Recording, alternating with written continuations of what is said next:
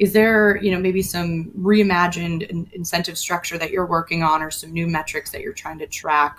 Or, or what are ways that you're motivating and guiding your field team?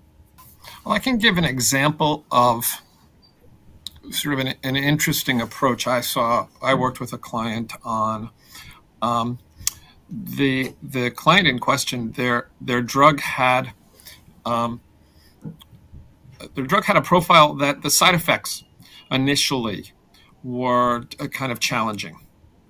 Um, and they had a pattern where they would get patients to start, um, but patients would drop off relatively quickly because of the side effect profile. Um, and the company had data saying that you know if you can get past the first X number of weeks, um, the side effects dissipate. Well, there in this case, this company wanted representatives more engaged in this discussion of managing and helping doctors with these mess with messages around side effects. Um, they had previously paid on new patient acquisition. They actually stopped paying on and switched it to no, we're not going to pay you until the third transaction right? Till they till they get their second or third refill.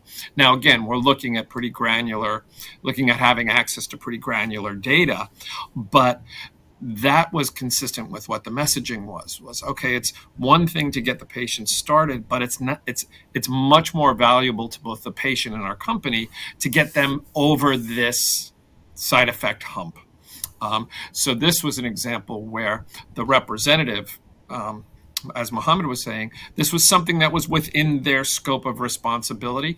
It was a traditional metric, but with a slightly different twist to reflect a different behavior that they wanted the reps to, to demonstrate.